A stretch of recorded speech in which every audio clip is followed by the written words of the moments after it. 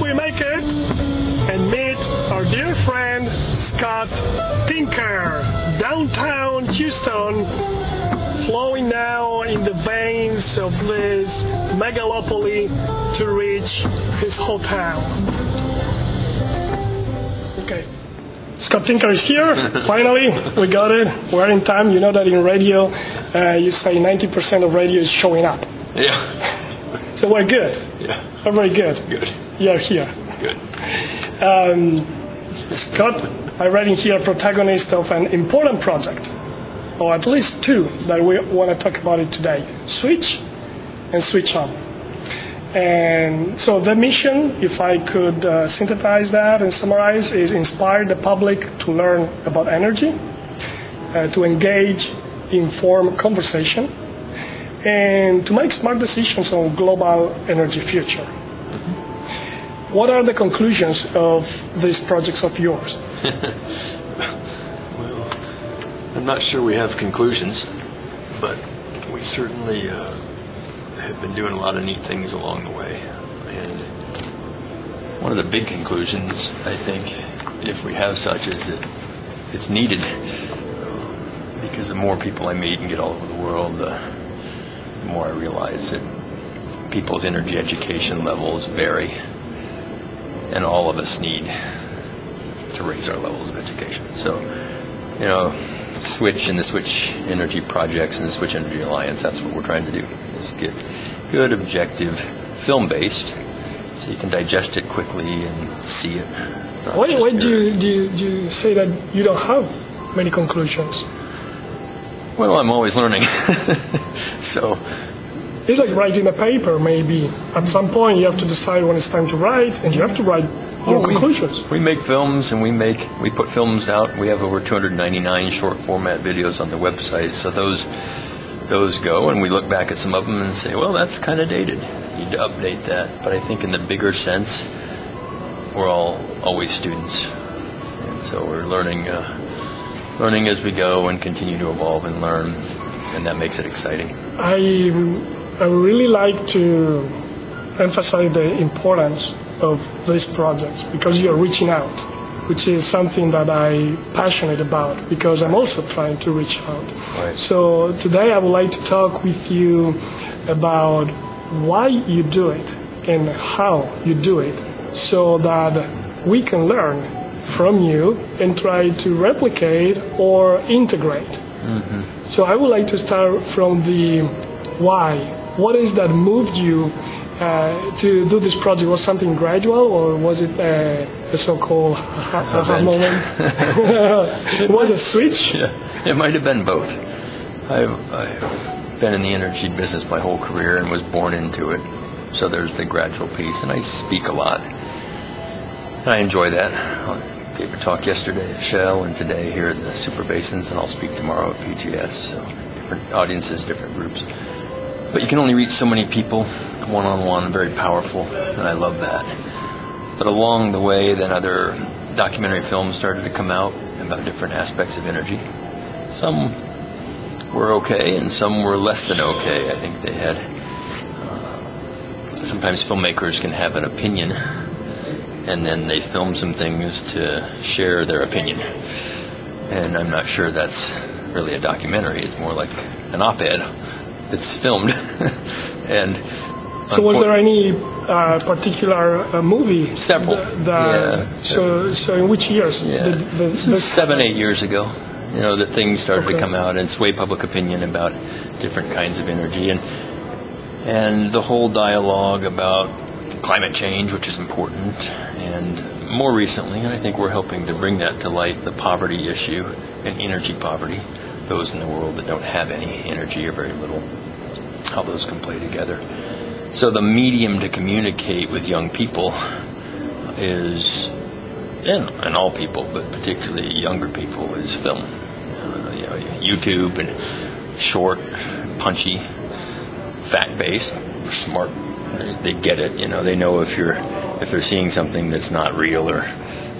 Um, but but. Uh, we decided to go down that road. And also, you can reach a much broader global audience. So, Switch is in over 50 countries now. We've passed 15 million viewers, which is a remarkable achievement.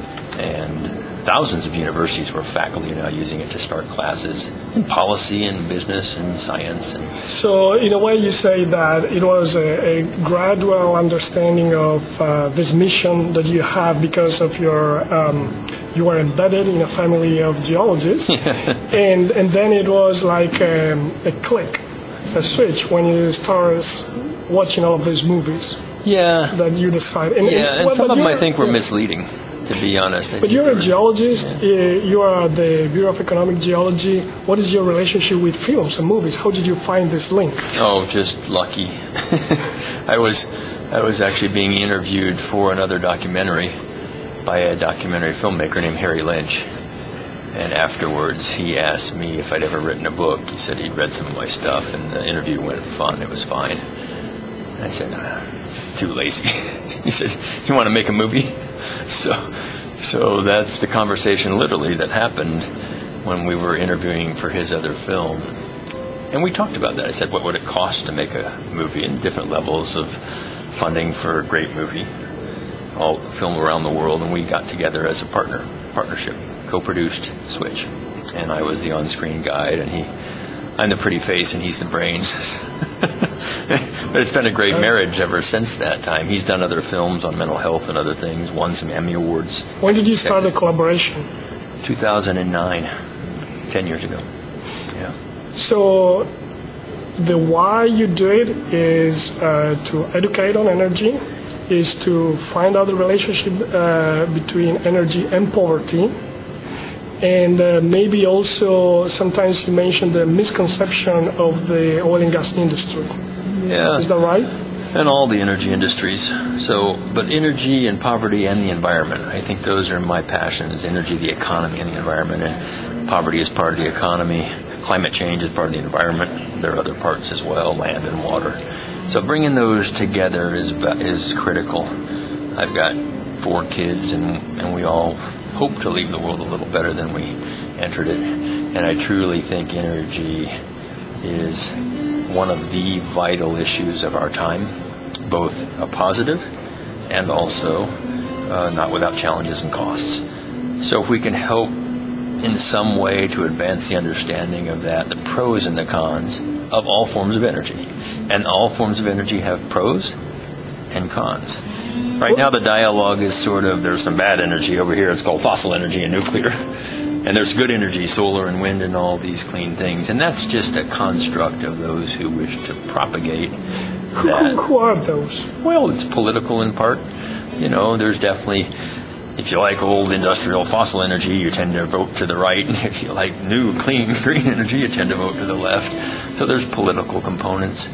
Um, there are those who have been educated in, in more science and technology fields and, and, and I think understand the pros and cons and challenges of, of industry at scale. Um, the, the thought of simple wind turbines and solar collectors is a, is an elegant one and it's very enamoring. But if you start to think about what it takes to do that at scale for seven or eight billion people, then it becomes a massive industrial process as well.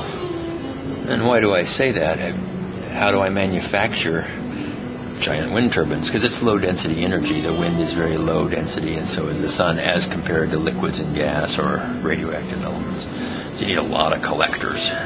But to get that, you mine and you manufacture and then you transport and transmit and and then you dispose. So you imply that um, the perception, the general perception in the public is that uh, this uh, solar and wind energy mm-hmm. is uh, positive or good, as you said, quote yeah. unquote. Green. Green, mm-hmm. but um, there's no uh, public debate about the these uh, environmental challenges. environmental And, and, and certainly on an emission sense, it is at the site, at the source, much greener, if you will.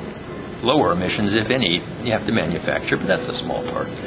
On the other hand, the land use and the mining and the disposal and the water that goes into those things, mining rare earth elements and metals and copper and chemicals and things for batteries, it, it's non-trivial when you go to scale. Okay, so that's, I think we, it's hard for any of us to wrap our heads around what 100 trillion cubic feet of gas is, or, or uh, you know, 90 to 100 billion barrels of oil, or, or you know, 100 quadrillion BTUs of energy consumption in the U.S. alone, 400 quads globally or more. These are numbers that you can't process. who should who should teach these things to the public? Well, we hope everyone should y- that, that has some knowledge of it, and that's what we're trying to do in Switch. We related in the film Switch. We related energy to how much a, a individual consumes each year, and then we measured everything in the human unit, right? One one human year. Yeah, but is this something that should be taught at school, at elementary school, Oh, sure. middle school? It or- sure it should, and it unfortunately it is, but again in ways that kind of tend to paint things good and bad, uh, and that then brings biases to kids pretty early on, and they have to have these realizations then about the scale and the challenges of all that. So the you know the the idea behind Switch and just education in general that I'm passionate about is is to try to get objective, balanced materials into the hands of everyone. They're free on the website, and I encourage people to use them, to fact check them, to find other sources, but to ask them to motivate them to start to ask their own questions and dive into it a little bit more and get excited about this wonderful world of energy that we all benefit so much from. It's we don't even know all the components in our lives. We really don't know. There's nothing. We're sitting right here. There's nothing. We're three floors off the ground. Metal, glass, carpet, and wood. All that comes from energy. We're wearing clothes. Energy. We just ate. We're having a drink. Energy. There's nothing unrelated to energy. Nothing. Nothing in the modern world. Now, I was down in Colombia a couple months ago with Switch, and we brought first electricity to the indigenous village of Gunchukwa in the Sierra Nevada on the northeast Colombia Venezuelan border. And I have to say that we have this uh, serendipity moment where we met uh, at the airport. We did. we did. And we were headed to ago, Colombia, and you were. yeah, to Argentina. it was great. Um, but the Arhuaco Indians, the, the native indigenous folks, have lived in those mountains for 500 years, essentially the same. Now they're aware of the modern world and they go into it, but their lifestyle, the mud huts, the thatched roofs, um, the handmade clothing, the foods, the size of the people, much smaller. Their um, life expectancy much shorter, still having 10 to 15 children because half of them die. So we walk back 500 years into the 15th century in the world today, and they had agreed to let us bring first solar, first electricity, which was solar, just a three kilowatt array. It's half of what you would put on your house in the U.S. First seven village uh, Did buildings. they, did they want solar also because also they were biased? They want solar because the, they have a river running through, but it, the waters are sacred. The wind resources more limited because they're in forested area and mountains, and they didn't want to hook into the grid because that represented a different um, part of society. Or really is a cultural It's thing? cultural. It's cultural. Very they- interesting. Very, and they accepted solar, and that meant we put LED lights in seven buildings, three ceiling fans, one refrigerator, freezer for vaccines and some treats, cold treats.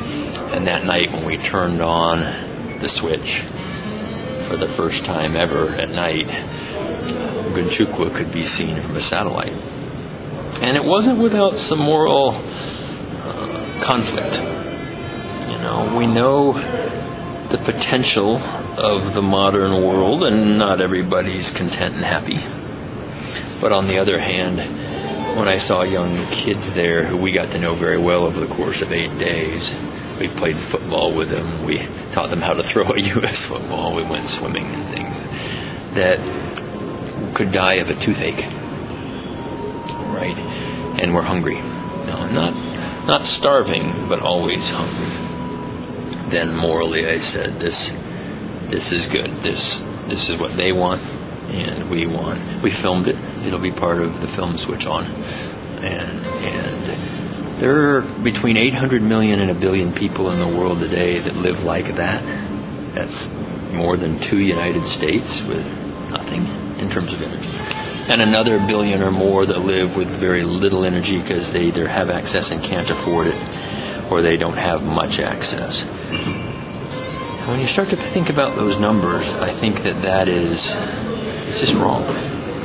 In, in, in a modern world, if we truly believe in the philosophy of equality and, and equity, um, which is impossible, but at least providing the context around which people can have a chance for that, then we have to be able to get energy to the world.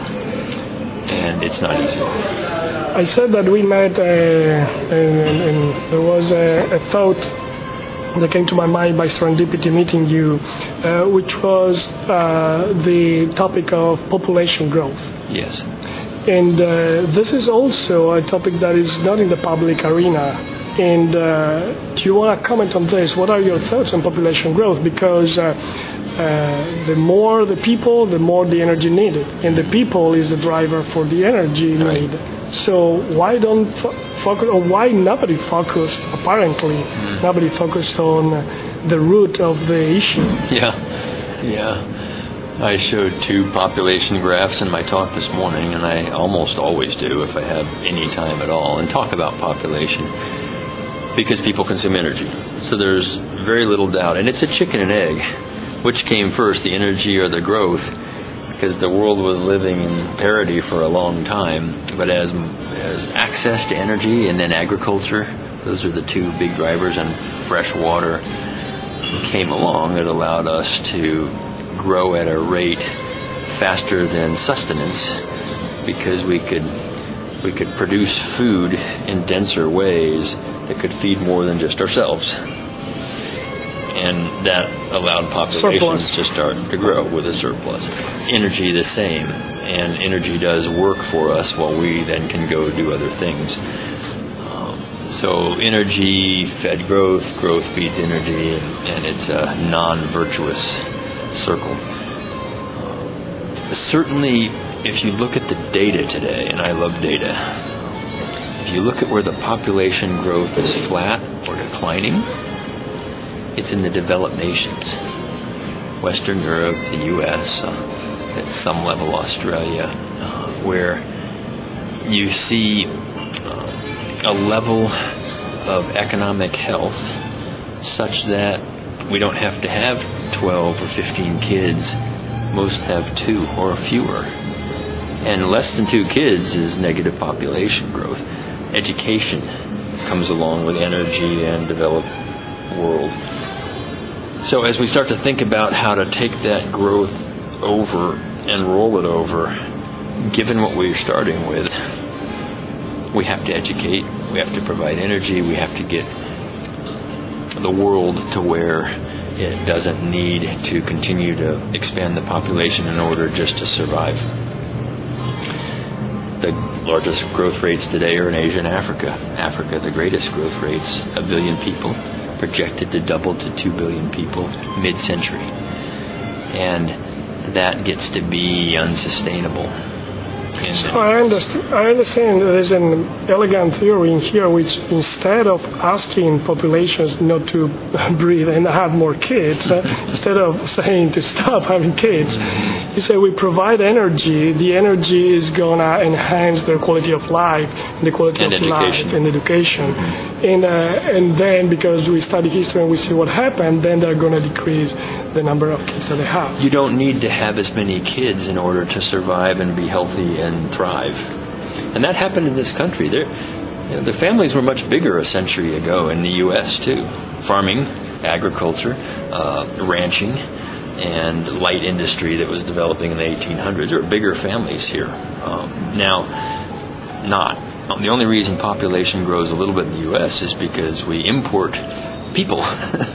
and same with Western Europe. There's migration that goes on from countries where there isn't opportunity or hope, undeveloped, underdeveloped, and they come to areas where they perceive there is, and that's the developed world. So, again, the data are pretty clear on that.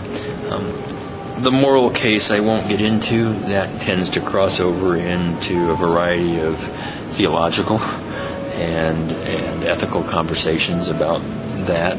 And, and you know, everybody has their own take on that, but um, when you look at countries that are not growing, they have multiple different religions in them and philosophical beliefs. So it, it the data show that that works. Okay. Most of the forecasts show population global capping around 10 to 11 billion people in the mid to late 21st century and then starting to roll over. It's going to be interesting when that happens. There are a lot of It things. is uh, that, uh, interesting that you mentioned politics, ethics, culture, and religion like being the predisposing factors for the this trigger, the population growth. Right, right. They're they are all woven into it, as is economics. And I think I think if you start to think about education and economics, what drives economies, um, the fact that we have leisure time here, you and I can sit and visit for an hour because we don't have to be out in the fields right now. We we have other things doing work for us. That and that work is provided in part by technology and energy. So, as that happens in the world, population tends to grow or, or uh, slow in its growth and roll over, and that's where I would. That's how I would look at that, and that's how I do look at that: is getting access, bringing undeveloped nations out of poverty, getting the education and the better uh, agriculture and food and clean water, um, equality for women, and and really starting to to provide a, a lifestyle that is more part of this modern world. And energy is a big piece of that. I admire that you have a moral imperative uh, to uh, use your leisure time uh, in this topic because nobody seems that is forcing you to go into that direction, right? No, no, I'm, You confirm? yeah, it's it's true. I uh, I don't sit around too much, but you know it, it it's okay. Another fun, kind of fun project along these lines, but a little different. And I don't remember if we've talked about this about a just not quite a year ago along the lines of education. Earth date? Yes. Yeah. Have I told you? Well, of course, we dedicate a full uh, uh, Oh, right. episode to Earth, Right, uh, right, Earth good, dates, good. and we give these little pills to our audience Yeah. of two minutes: a blue pill of two minutes, a blue pill of uh, a red pill of two minutes to grow and, and shrink uh, and, to- and talking from the guttural sounds of the dinos- dinosaurs Yeah, yeah. to the tens of minerals or hundreds of minerals that are in the iPhone. Yeah, yeah. Of course, and, uh, and uh, we thank you that you put it up there. Everybody can download it or listen to Yeah, it. the scripts and the research, and we conti- it continues to grow. We're over 300 stations now. Say again, what is the website to uh, Earthdate.org. good Earthdate.org. Earth Date? Why Earthdate? Well, um, no good idea goes unstolen, and and there's a great program on NPR stations called Stardate, and it comes from the McDonald Observatory, and it's on each evening, and Sandy Wood reads it. And wonderful. This is Stardate, and I listen to it every night. And I'm thinking, that's neat stuff. You know, it's this, it's the universe. I think, but we need an Earth date, Uh, a date with. Earth. So let's bring it down here and look at all the different things that go on related to not just geosciences, but all the things that happen on Earth scientifically, and, and that's a lot of fun. So we've passed 300 stations in less than a year, all 50 states, several countries now. Schlumberger has just decided to sponsor Earth Date, and we thank Schlumberger for that because they see the global impact. So these are the kinds of things that if you can get into the cars and onto the YouTubes and into the handheld devices and the classrooms with video and Yeah. audio, short, punchy. People just hear it and they think, and it triggers them to go investigate and excites something in them. Then So Scott, that's I see that your your um, thought has evolved since uh, seven, eight years ago when you started this project. Yeah. Do, can you tell us the evolution of your thought? How was it when you started this project? How is it today? What did change? What, what Sure. you, You never know how something's going to go, right? I knew Harry was a great filmmaker, and if I could raise some money, we'd probably do something good. And I think we did with Switch. Uh, and we didn't know, though, that it would continue to be popular. We knew we were going to make it objective and balanced and as honest as we could make it, looking at the pros and cons of each issue. Because of that, it has stood the test of time. There's some things that are a little out of date, as with all things, as, as almost a decade goes by. But it has stood the test of time, so that was unexpected. It continues to get used. And then as I've um, worked around the globe and had the, the good luck to travel to almost 60 countries now, all different parts of them, from still two thirds to go? really high level to severe poverty. You know, get to see it all. Um, that became more apparent to me that part of the world was benefiting from energy, and part of the world wasn't, and part of the world isn't doing, you know, not all good with energy either. We we still have some moral growth there, but it drove me to think, hey, you know, we've got to we've got to bring the whole world into this picture, and I hooked up with Harry again and said, let's make another film. You, you are saying that you left behind some part of the globe in, uh, Oh, yeah. in the very first Well, three billion people, What, which three billion people? the ones that are impoverished, that have very little or no energy. And why at that time you didn't dedicate time to them? There was simply no It space. was it was an oversight in many ways. We were we filmed in 11 countries. We went to 23 sites. We interviewed 50 people, and we were And talking it about energy. enough. Well, we Yeah. we were talking about energy. Yeah. Energy was the star of Switch. All forms of energy, but what we weren't really thinking is, wait, there's three billion people that don't have much energy. So it wasn't intentional, but Switch focused on the developing and developed world of energy, and and now we have an opportunity to say no. Let's uh, let's grab that other part because they're using they're, they still use energy. They burn dung in huts, and they die of lung cancer. They put hay into their vehicles, which are called mules, donkeys, and oxen. That's it's carbon. Dung and wood and hay is all carbon. It hasn't even become dense like coal. Okay, so this is a, a carbon based economy. Make no mistake. Three billion people, but they don't use much. Okay, so they're they don't have much. It's so low density to do that that uh, the energy themselves. So that's where that's really the motivator for this. And then the, on the much the other end of the scale completely, climate change, big topic, and and all the politics around that. Poverty, massive topic, all the politics around that. And energy sits right in there.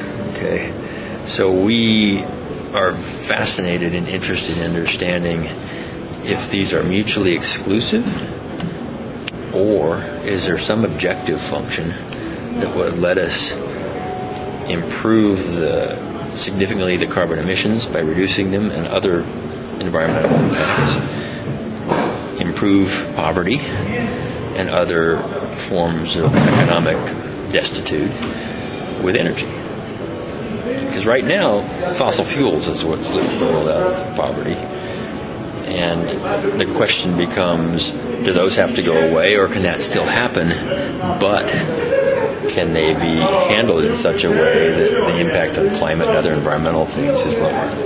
Scott, so we were talking about the evolution of your thought. Right. Uh, was anybody inspirational for you in these years to inspire you? Uh, Yeah, you know, it's interesting. On the energy side, there's a couple of people that I really respect. One is uh, Jesse Ausubel. Jesse is a brilliant thinker. He's a, a Da Vinci fan. He's at the Rockefeller University in New York City on Manhattan. He's a true environmentalist, but his environmental passion is land. Uh, less, more nature, less human footprint on nature. He's also, and then he's a Renaissance man. He's the person who coined the term decarbonization. He saw the trend away from carbon to hydrocarbons to hydrogen and then eventually to non hydrogen based fuels. Really impressed by Jesse. Interviewed him. He's not in the film, but he's on our website. Another guy that I really am impressed by in the energy world is Vaclav Smil. And Smil writes about energy density. He really written books and books on dense energy and how powerful and important it is to keep the footprint small and the impact high. I like, uh, and I'm not doing justice either one of them. Okay, but and then along the way, I met Rich Muller, and Rich is in Switch. He uh, wrote the book Physics for Future Presidents, and then Energy for Future Presidents. He's out of Berkeley. Really creative and, and fun person. Uh, had a lot of uh, good conversations with him Another guy I really respect is Steve Koonin. Steve's in Switch as well. He was at Caltech, young provost, very young, and chief scientist at BP for a little while, then undersecretary of energy in the Obama administration, first term. He's now at New York University, and he's looking at cities and how to how to understand human movement and to in a very um, kind of big data way, in, mm-hmm. in an analytics way.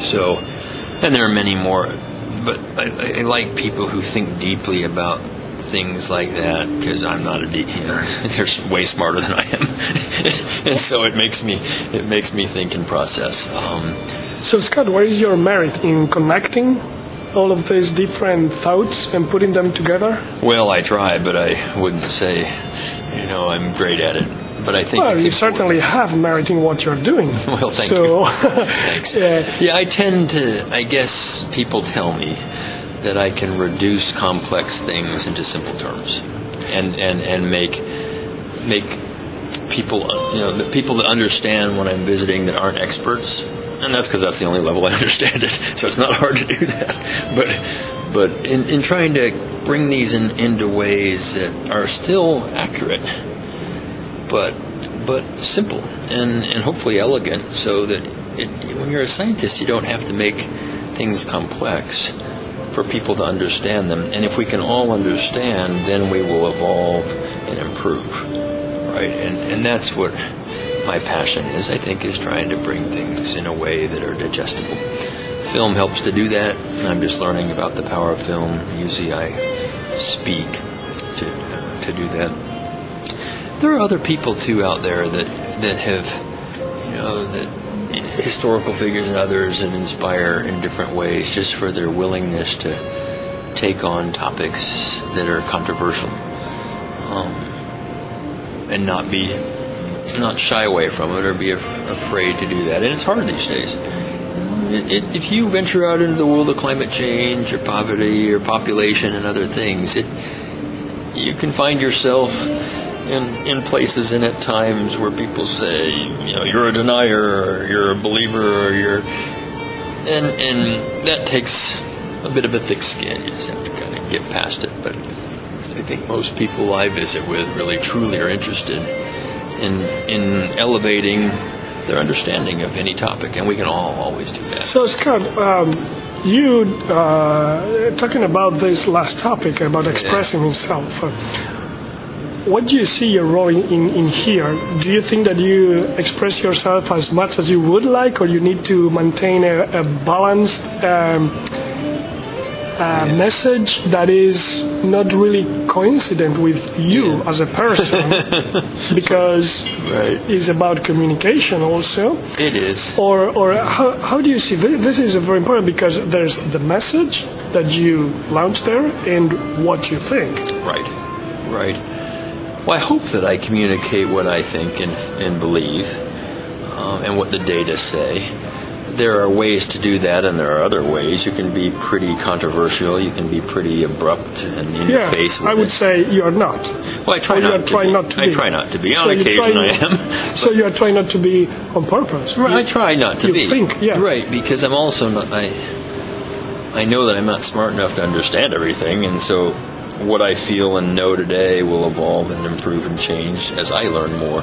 And if you if you get right in somebody's face, they're not going to share back with you what they understand. So it's a it doesn't become a dialogue or an engagement; it becomes a monologue. That's not very satisfying. Um, so I try to do that. I- We try to remain objective and balanced in that. The challenge with taking what you believe too far into advocacy or even beyond that into activism, and we're all entitled to do that. And I want to make that very clear. I don't I don't say you can't do that. Do that if that's your passion. But as you become an advocate or an activist or beyond, um, you are saying, "Here's what I believe, and I'm going to go actively pursue and and and sell that." It's hard to remain objective if you've taken a position on something because that's your position, and it's harder to change your position once you've become active about it. And and I think scientists I love seeing scientists get engaged. I think there are risks, and not all my scientific colleagues agree with me on this, as scientists become activists in losing objectivity. Yeah, and that I see it in here in, in, in this country. The coherency is a positive uh, attribute, and whenever you are caught in something in which you are not coherent, you are kind of put in a negative uh, position, in, a, in a dark spot. Yeah. But you, you can't be al- always coherent because if you learn new things and you understand that you are wrong, you have to change. Reserve the right to. That's what science is. I reserve the right to change my opinion or what I understand because science marches along. It's it's never settled in that sense. I mean, yes, we understand evolution. We understand plate tectonics. But we continue to evolve and learn and grow in the depth of our understanding, even of big topics like that, some fundamental things. And so all the topics we've been talking about here will have that kind of evolutionary and sometimes revolutionary growth to them. And if you get too entrenched in your position, sometimes it's hard to pull yourself out of that and, and evolve and grow. So in our films, in my speaking, the limited writing that I do, I try to to maintain some sort of an objectivity that people could fact check or look at and say, yeah, I may not agree with all those conclusions, but I could see where the data come from and why he would form that opinion, and it's well founded, that kind of thing. You know, I think that's what science needs to try to do. Scott, I was mentioning these topics because um, one way to really get uh, solutions to energy poverty, climate change, uh, smart decisions on energy, they are made by the policymakers. And so I was thinking if you ever thought to be part of that intelligentsia of uh, policymakers. Well, I, I've been asked to. Uh, Mr. Obama asked me to be Assistant Secretary of Energy a couple times in his first administration, and I looked at it. Um, certainly have looked at and been involved with policymakers and regulators with information and in those rooms and in those conversations. Uh, I might disagree a little bit with your tenant, though. Uh, I think that markets are where changes happen. Policy can influence directionality and accelerate or incentivize, but if it's not adopted at scale, it won't go forward. So you can only incentivize things for so long before markets have to take them up and grow them, or they will not survive. And I'm kind of a markets person. I, I, I love the power of markets. I love the power of billions of people thinking about things, even if it's only little thoughts, but you put all that together, and markets are remarkably smart. Now they are slow to adapt sometimes, and sometimes they can be harmed, and so therefore you need regulation and things to, to protect us from ourselves, if you will. But certainly, a, at least a balance between policy and markets, and I lean even toward the market side a little bit more that way, and that you know that makes me that confuses people. they say, "Wait a minute, you can't be doing what you're doing and be a capitalist." Yeah, I kind of can, because I see the capital markets as what's going to drive forward some of these changes in scale. And scale matters. If we're doing great things, but they're only this big, the kinds of changes that need to happen won't happen. They won't be adopted in the marketplace. So governments need to incentivize, they need to help uh, with policy, and then as things start to go, they back out and, and let the, capital markets, economics, and, and the industrial aspects of that take over and drive it forward. Do you have an opinion on uh, what's going to happen with the Paris uh, Agreement uh, after all of the data that you have been seeing lately? Um, where are we going? Yeah. Well, that's a big accord. Tackle it at lots of different levels. It, the the climate models going forward in the, in the, most recent IPCC reports are honest. You know, it's a tough modeling problem. The Earth system and the climate system is a tough problem. It's multivariate, nonlinear, very complex. So understanding all those isn't simple, and that's why climate models look different as they go out in the future, but they're all directionally the same. Um, And so, with that directionality, more atmospheric emissions of CO2 and methane and other greenhouse gases tend to hold heat in the oceans and, and on Earth. The Paris Accords would help if everybody were to adopt them. Uh, it'll be hard for some nations to do that as they industrialize and grow. So, they probably won't. The U.S. pulled out of our component of the agreements, but ironically, we're already two thirds of the way there towards our 2030 goals. And we were already two thirds of the way there when the accords were written. People don't know that usually. I wrote some op eds on that.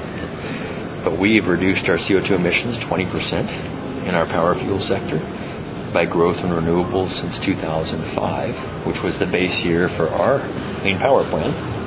That's what we promised from 05 to 2030 uh, to reduce 32%. And we've already come down two thirds. Renewables grew from 8 to 15% in the power sector, not total energy. And natural gas grew from about 16 to almost 34, 35% now as coal reduced. That combination of natural gas and renewables, we've reduced our CO2 emissions faster than any big nation on Earth.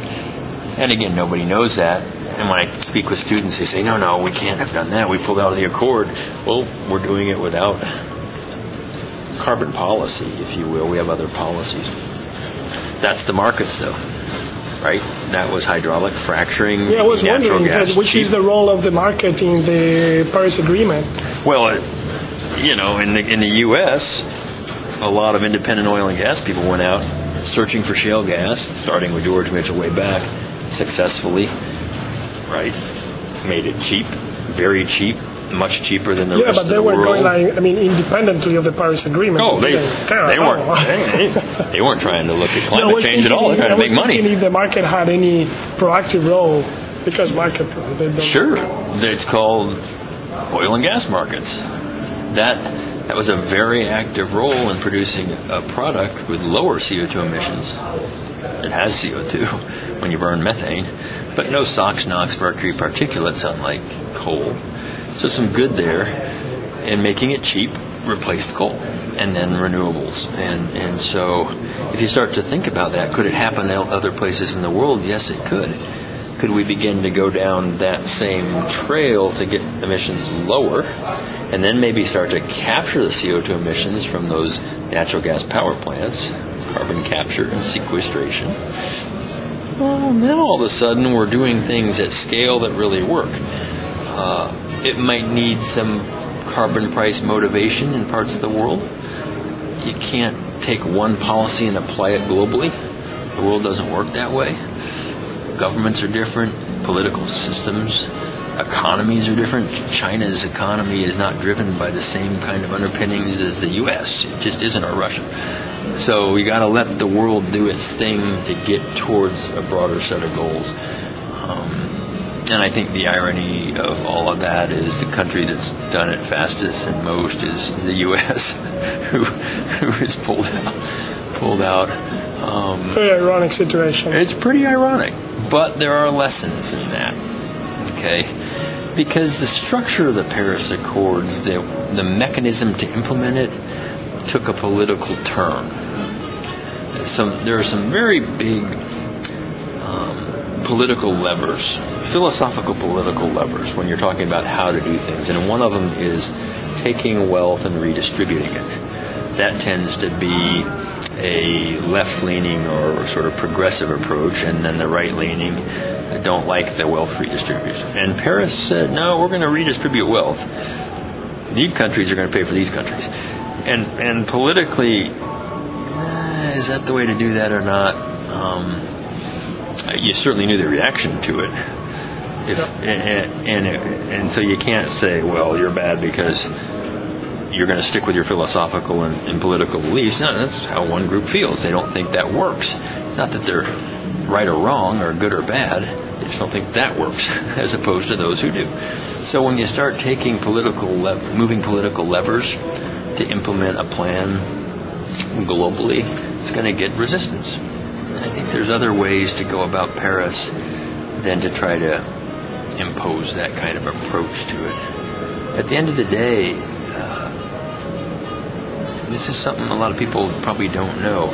If you combine North America and Europe, which is a lot of big economies, our CO2 emissions have been flat for 40 years, almost half a century. They undulate a little bit, but net flat as opposed to the developing nations right back, and those are growing tremendously, particularly in Asia. The undeveloped and early developing, not yet, because they don't produce much energy.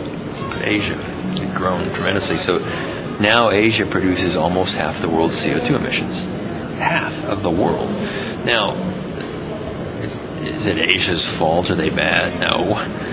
Um, they're making stuff, products that the world wants to consume, and it's affordable it's reliable, it's available. So we have to look around the world that where things are being consumed and maybe figure out how to, if we're going to price carbon, price it based on our consumption of stuff. Everybody who consumes helps to pay. In the U.S., we call that sales tax. if, if you own a big you buy something big and expensive, you pay sales tax on it. If you own a big home, you pay property tax. It's more than a smaller home bigger car, you pay fuel costs bigger. And so if you're doing things that consume more products and produce more CO2, everybody pays. And in the end, everybody pays for that anyway. But if you do it with that lever of, of sort of wealth redistribution, then you're going to get the politics. And that, that wasn't a surprise to me that that's causing some angst across the globe. You, you, you say again the word politics. Uh, in the end, I think uh, you didn't tell us why you didn't enter into politics. uh, I think I can do more out here. I think I have more impact on the areas that I want to have impact than if I was constrained by the political world. Mr. Perry, Secretary of Energy, but he works for his boss, the president, and and and they're both constrained by their voter base. So I actually think, and and look, and it was Mr. Obama and Mr. Moniz, Dr. Moniz before, and Dr. Chu. You know, it doesn't matter who's in.